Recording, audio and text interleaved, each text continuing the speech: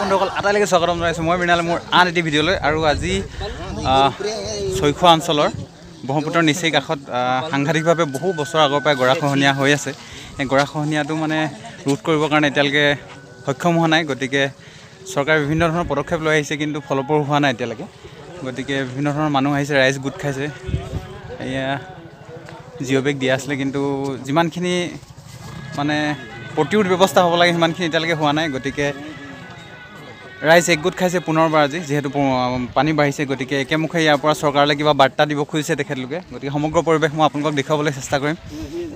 বন্ধুবোৰো আহিছে ফালে আছু স্থানীয় দল সংগঠন সংবাদদাতাসকল সকলো আহিছে। গতিকে পৰিৱেশটো চাই থাকিব আপোনালোকক দেখুৱাবলৈ চেষ্টা কৰিয়ে থাকিম মই। গতিকে ভিডিঅ'টো শেষলৈকে চাবলৈ অনুৰোধ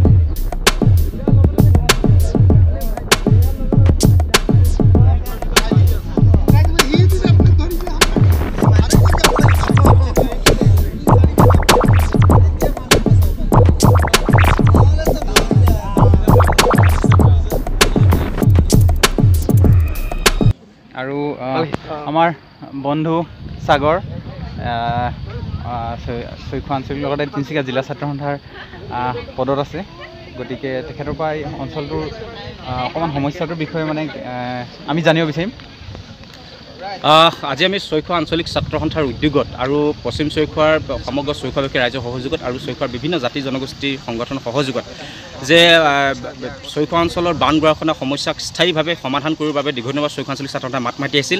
গতিকে আজি সমগ্ৰ চৈখোৱা অঞ্চলৰ পশ্চিম চৈখোৱা ৰাইজে সমবেত হৈ বিভিন্ন জাতি জনজাতি সংগঠনৰ ৰাইজসকল আমি একত্ৰিত হৈ আজি আমি এই স্থানৰ পৰা গৰাখনৰ স্থানৰ পৰা আমি ক'ব খুজিছোঁ। কেন্দ্ৰীয় চৰকাৰ অসম চৰকাৰ জলসম্পদ বিভাগ ব্ৰহ্মপুত্ৰ বোৰ্ডক আমি ক'ব খুজিছোঁ যে ঊনৈছশ ঊনৈছশ আঠানব্বৈ চনতে এই হাতীঘুলি মথাউৰিটো ভঙাৰ পিছত প্ৰায় একৈছখনকৈ গাঁও ব্ৰহ্মপুত্ৰ বুকুত বিলীন হৈ গৈছিল। তাৰ পাছত আজিলৈকে কোনো এখন চৰকাৰ বহু চৰকাৰ আহিল গ'ল কিন্তু আজিলৈকে কোনো এখন চৰকাৰে এই বান গুৱাখনৰ সমস্যাৰ স্থায়ী সমাধান কৰাৰ ব্যৱস্থা গ্ৰহণ নকৰিলে। তাৰ পৰা আমি ক্ষোভিত হৈ আজি প্ৰথমে প্ৰথম পৰা আজি ছয়খন আঞ্চলিক ছাত্ৰ সন্থাৰ উদ্যোগত আমি হুংকাৰ গণহুংকাৰ নামেৰে কাৰ্যসূচী আমি এই স্থানৰ পৰা আমি চৰকাৰ কেন্দ্ৰীয় চৰকাৰ অসমৰ জলসম্পদ বিভাগ আৰু আপোনাৰ এই ব্ৰহ্মপুত্ৰ বোৰ্ডক আমি স্পষ্টভাৱে সকীয়াই দিব খুজিছোঁ সকিয়নি প্ৰদান কৰি খুজিছোঁ এই স্থানৰ পৰাই। অতি শীঘ্ৰেই এই বান গুৱাখনৰ সমস্যাটোক স্থায়ী সমাধানৰ বাবে ফলপ্ৰসূ ব্যৱস্থা গ্ৰহণ কৰক। অন্যথা কিন্তু প্ৰতিবাদৰ ভাষা আমাৰ বদলি হ'বলৈ প্ৰতিবাদৰ ৰূপ আমাৰ ৰূপৰেখা আমাৰ বদলি হ'ব। গতিকে আমি এই স্থানৰ পৰা প্ৰথমে ক'ব খুজিছোঁ যে আজি ক'ব স্পষ্টভাৱে ক'ব খুজিছোঁ অতি শীঘ্ৰেই বান গুৱাখনৰ সমস্যা স্থায়ী সমাধান ব্যৱস্থা গ্ৰহণ কৰিব লাগে। গতিকে ধন্যবাদ জনাইছোঁ বন্ধু। আপোনালোকে গম পাইছেই গতিকে সমস্যাটো কিমান ডাঙৰ যিহেতু একৈছখনকৈ গাঁও ইয়াৰ পৰা নোহোৱা হৈ গৈছে বহুত ডাঙৰ কথা। গতিকে চৰকাৰে কি ব্যৱস্থা লয় ভৱিষ্যতৰ দিনত? লক্ষণীয় হ'ব।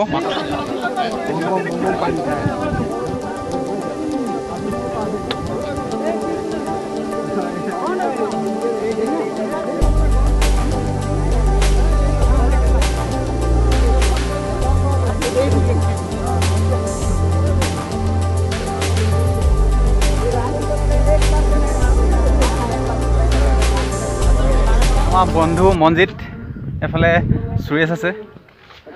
আচ্ছা বন্ধু তুমি মানে ঘৰতো কাষৰে এইখিনিতে হয়। মানে এই সমস্যাটোৰ বিষয়ে কি ক'বা? সমস্যাটোৰ বিষয়ে মানে এইটোতো প্ৰায় আমাৰ অসম ৰাইজে যিটো ভুগি আছে কাষত যিটো মথাউৰিটো আছে। মথাউৰিটো পাবলৈ আৰু বেছি দূৰ নাই এইখন ব্ৰহ্মপুত্ৰ। এই ব্ৰহ্মপুত্ৰৰ পৰা মাত্ৰ ইয়ে এশ মিটাৰ নহ'ব চাগে। ঠিক ডিষ্টেঞ্চটো মোৰ ক'ব পৰা নাই। তো গৰাখহনীয়া সমস্যা এইটো বহুত দিন হ'ল বহু বছৰ হ'ল হাতীগুলি গৰৈমাৰী তেনেকুৱা বিভিন্ন ধৰণৰ গাঁও আছিলে একৈছখনৰো অধিক। একৈছখনতকৈ অধিক গাঁও? অধিক গাঁও তেনেকুৱা ইমানকেইখন গাঁও এতিয়া বৰ্তমান এয়া ব্ৰহ্মপুত্ৰৰ মাজত। এইখিনি যিখিনি আছিলে ইয়াতে হাতীগুলি গৰৈমাৰী বিভিন্ন ধৰণৰ গাঁও আছিল। আচ্ছা ইয়াত থকা মানুহখিনি এতিয়া গুচি গ'লগৈ? হয়। এতিয়া বৰ্তমান আমাৰ নৱমা মথাউৰিৰ কাষত আজিৰ পৰা কিমান আছিলে? মই চনটো পাহৰিছোঁ মানে বোধ হয় তো তাতে মথাউৰি কিনাৰত এতিয়া বতৰ মানে তেখেতসকলে বসবাস কৰি আছে। আৰু মথাউৰিৰ পাৰত যিখন আমি গাঁও বুলি ভাবিব নোৱাৰি তেনেকুৱা এখন ঠাইত গাঁও হ'ল। তাত বৰ্তমানো পানী হয় তথাপিও তাহাঁতৰ মানে ঠাই নাই থাকিবলৈ। সেইকাৰণে তাতে মানে তেখেতসকলে জীৱন নিৰ্বাহ কৰি আছে। তো সাংঘাতিক কথা চাওকচোন প্ৰায় ইয়াত কৈছে প্ৰায় একৈছখন গাঁও পানীত জাহ গুচি গ'ল। আৰু মানুহখিনি ইয়াৰ পৰা বিভিন্ন ঠাইলৈ হস্তান্তৰিত হ'ল। গতিকে সাংঘা- সাংঘাতিক এটা মৰ্মান্তিক বিষয়। গতিকে ভিডিঅ'টো শেষলৈকে চাই থাকক আৰু পিছলৈ অন্যান্য আমাৰ পৰিৱেশো দেখুৱাই থাকিম আৰু বিভিন্ন ব্যক্তিৰ সৈতে আপোনালোকক কথা পতাবলৈ চেষ্টা কৰি দিম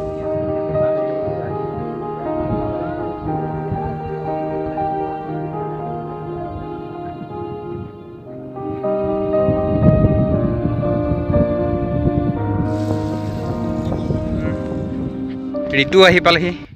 ঋতু কি ক'বা এইটো? দুৰ্ভাগ্যজনক ঊনৈছশ আঠানব্বৈ চনৰ পৰাই এই বান গৰাখহনীয়াত ভুগি আছে এই অঞ্চলবাসী ৰাইজে। ইতিমধ্যে প্ৰায় বিছখনতকৈ অধিক গাঁও বানৰ কবলত পৰিছে। চৰকাৰ আহিছে চৰকাৰ গৈছে। কিন্তু সমস্যাটো সমাধান হোৱা নাই? সমস্যাটো সমাধান হোৱা নাই। ঠিক আছে আমাৰ ঋতু আছিলে আৰু ওপৰৰ ফালে বিভিন্ন ধৰণৰ মানুহ গোট খাইছে। ইতিমধ্যে মই একেবাৰে কাষৰ পৰা পৰিৱেশটো দেখুৱাবলৈ চেষ্টা কৰিম। বিভিন্ন স্থানীয় ব্যক্তিসকলো আহিছে। গতিকে হুঁচিয়াৰ হুঁচিয়াৰ হুঁচিয়াৰ বিভাগ সমাধান